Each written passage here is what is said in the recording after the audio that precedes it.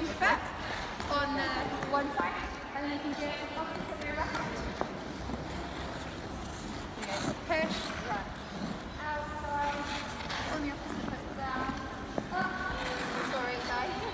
if you notice that turns out, the line, on the back was out of direction. That's the first exercise. The second exercise.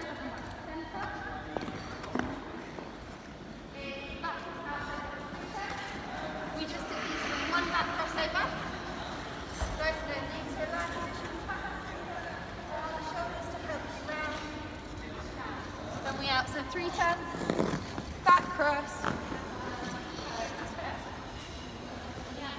cross.